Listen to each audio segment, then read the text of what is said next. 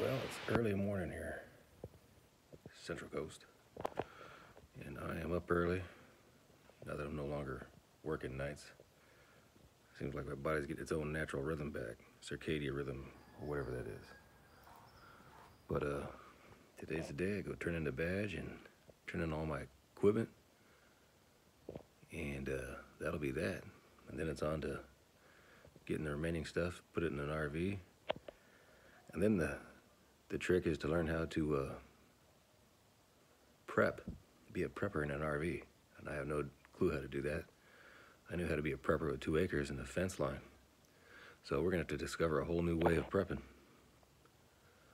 So stay tuned for all that. Because I think that's the way a lot of people are gonna have to go, mobile, and be still be prepped. You'll survive somehow for two or three months with uh, being mobile. So yeah, so drink a little bit of coffee, getting ready for the turn in the badge day. Because I'm not being a part of that tyranny anymore. So here goes nothing.